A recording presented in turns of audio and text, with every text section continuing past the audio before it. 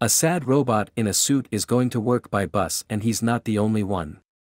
Other robots use public transport too. The metalware is doing their day-to-day activities outdoors. One of the robots has just been hit with a car and there's not enough left of this poor thing. Our hero is getting of a bus at his stop. It seems that another robot's battery is dead. The robot is Sheldon, the interior of his dwelling is rather scanty because he doesn't need too much. The main thing is to have a place where he can charge the battery. He works in a library. One day, while waiting for the bus as usual, he saw a laughing robot girl. Francesca was driving a car and this fact made a redhead granny angry. In her opinion, none of them are allowed to drive. He sees her again the next day, Francesca drew up the bus station with several other robots in wigs and one half-nude man. They stopped nearby and after mocking Sheldon's trousers they suggested a joint ride to him. It was a jolly clatch. A man struck a match against a computer case. Francesca stopped the car and started putting up flyers with a lettering I'm here.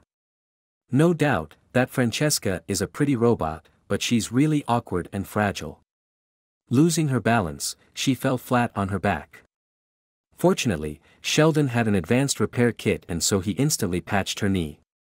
Francesca suggested listening to her favorite band together, but Sheldon wasn't a quick-witted robot, so he didn't understand why it could have been entertaining. However, his routine in the library became not so boring as it used to be previously. Francesca picked up Sheldon and they went on a romantic forest walk. They had a great time together and realized their mutual affection. That night, Francesca waited her boyfriend in bed for a while and they finally made love.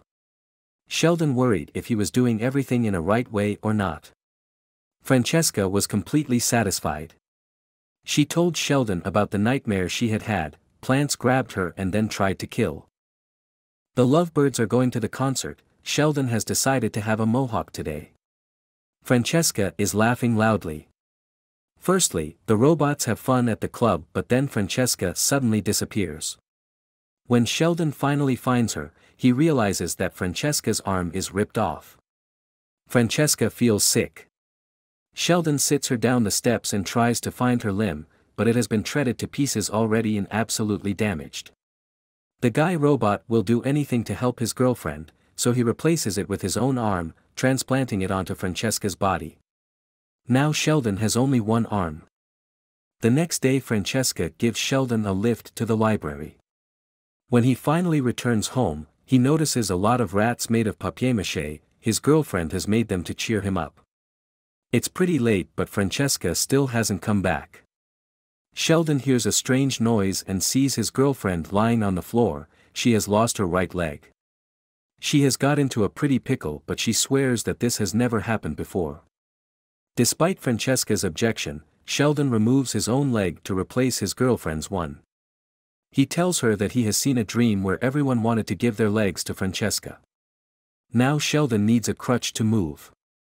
Francesca escorts him to the library and promises to give him a lift in the evening. They throw a party at night. A lot of robots and people have gathered. A man is conjuring whereas some robots are laughing loudly at their fellow whose head looks like a conditioner. Somebody is drawing Sheldon eyebrows and beard. Everyone is having fun. Resting on his crutch again, Sheldon is waiting for Francesca to go home together. He hasn't awaited her and so goes home by bus alone. Later, he hears some terrible news and goes to the hospital immediately. Sheldon is knocked for a loop when he sees Francesca's body broken in half at chest level. He is discussing something with a doctor. Now a frustrated Sheldon is placed next to Francesca. The surgery has begun. Sparks are flying in all directions. Doctors and engineers discuss technical issues. It's time for the critical stage, the reboot of Francesca. The robot girl sees smiling Sheldon, who has saved her life, his head is the only body part he has right now.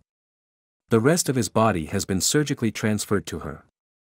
Francesca is taken out in front of the hospital in a wheelchair, she is holding Sheldon's head in her hands.